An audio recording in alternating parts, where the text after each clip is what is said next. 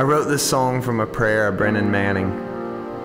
The prayer begins with the word Abba, which means Daddy, Papa, my dear Father. Abba, I belong to you.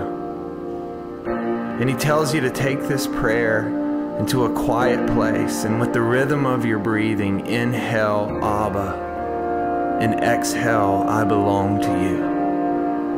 And as I began to pray this prayer, the love of God began to wreck my heart. And I realized that Jesus began a revolution with one word. When he said the word Father, he changed everything. And now he's invited us into this reality, into this place of belonging, to call God our Papa, our Daddy, our Abba.